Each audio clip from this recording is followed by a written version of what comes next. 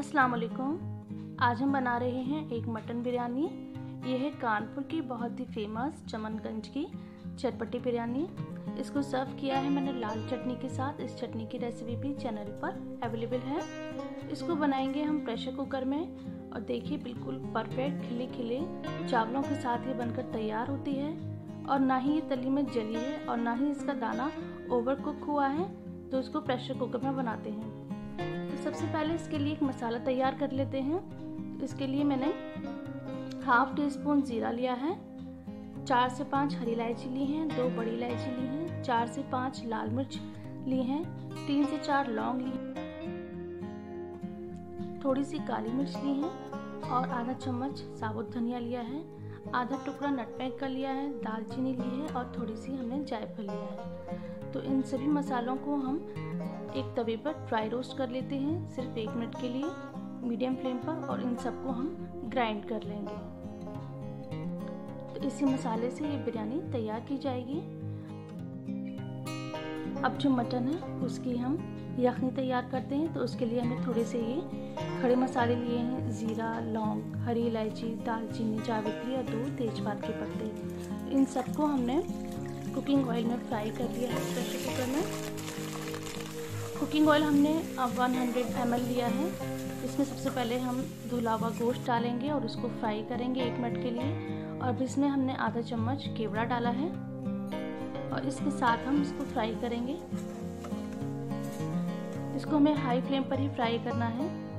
एक मिनट के बाद हम इसमें जिंजर गार्लिक पेस्ट डालेंगे, एक से दो चम्मच, और लहसुन अदरक के पेस्ट के साथ अब हम इसको फ्राई करेंगे।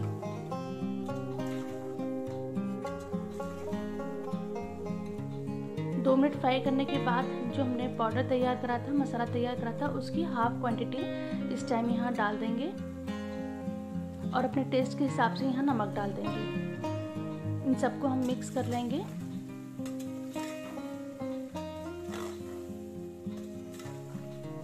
मैंने दो लार्ज साइज़ की अनियन को स्लाइस करके फ्राई कर लिया था।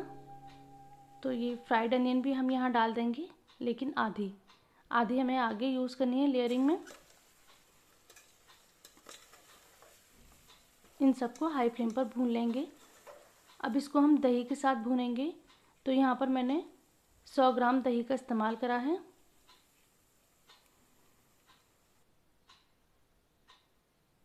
दही डालकर भूनेंगे। जब तक दही का जो पानी है, वो खुश्क नहीं हो जाता। दही का पानी खुश्क होने के बाद मैंने यहाँ पर 250 ml एक बड़ा मग पानी का डाल दिया है। और बस इसको मिक्स करके अब हम इसे प्रेशर कुक करते हैं। तो हमें यहाँ पर जो मीट को 90 परसेंट तक कुक करना है अब जब हम चावल बॉईल करने के लिए रखते हैं तो सबसे पहले एक बड़े बर्तन में हम पानी गरम करेंगे, उसमें कुछ खड़े गरम मसाले और हरी मिर्च डालेंगे पाँच से छः और नमक डालेंगे ज़्यादा सा, क्योंकि इसका पानी ड्रेन हो जाएगा तो नमक हमें यहाँ ज़्यादा ऐड करना होता है। जब पानी में अच्छी तरह से बॉयल आ जाएगा, तब हम इसमें एक घंटे भीगे हुए चावल डालेंगे। मैंने यहाँ पर सेला चावल का इस्तेमाल करा है। आप कोई सभी बिरयानी वाला अच्छा चावल इस्तेमाल करें। मैंने यहाँ पर 750 ग्राम चावल लिए हैं। तो चावल डालकर इनको कुक करेंगे हाई फ्लेम पर। इधर ये हमारी यखनी तैयार हो गई है। अब हम इसको चेक कर लेते हैं। तो यहाँ पर जो पीसीज हैं, उसमें थोड़ी सी गुंजाइश रहनी चाहिए, यानी हमें नाइन्टी परसेंट तक कुक करना है, क्योंकि आगे हमें इसको एक बार और कुक करना है। तो इसके ऊपर जो रोगन था, वो सारा रोगन हम एक बोल में निकाल लेंगे और चावल भी हमारे कुक हो चुके हैं। चावल हमें सेवेंटी फाइव परसेंट तक कुक करने हैं। तो चावलों को हमने पानी से अलग कर लिया है। अब ये यखनी है, जिसका कि हमने रोगन अलग कर लिया था। तो प्रेशर कुकर में पहले से हमने यखनी रखी है, उसके ऊपर एक लेयर चावल की लगाएँगे। और जो हमने मसाला तैयार करा था, उसमें ये मसाला डालेंगे, और फ्राई करी हुई प्याज डालेंगे, और ज़्यादा सी हरी मिर्च डालेंगे। फिर एक लेयर ऊपर से चावल की लगाएँगे तो इसी तरह से आप चावल की एक या दो लेयर लगाएँ और मसाला डालें।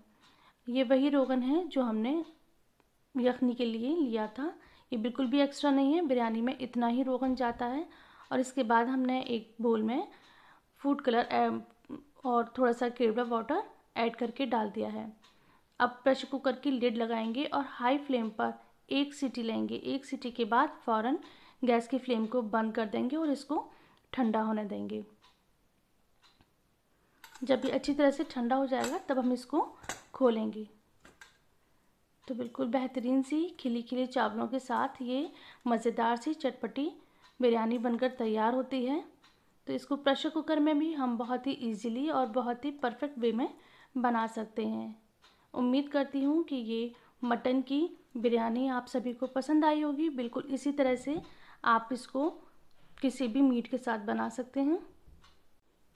बहुत ही फ्लेवरफुल ये बिरयानी बनकर तैयार हुई थी और ये बनाना भी बहुत ही आसान है। इसे हर कोई इजीली बना सकता है प्रेशर कुकर में भी।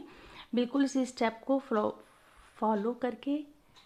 और इसके साथ साथ मेरी इस चैनल पर बहुत सारी रेसिपी रेसिपीज़ अवेलेबल हैं। बिरयानी की, पुलाव की, ताहरी की, उन सबको भी प्लीज़ ट्राई करिए। आई होप कि ये रेसिपी पसंद आई होगी। दुआओं में याद रखिए। मिलते हैं नेक्स्ट रेसिपी में। टिल देन टेक केयर अल्लाह हाफिज़।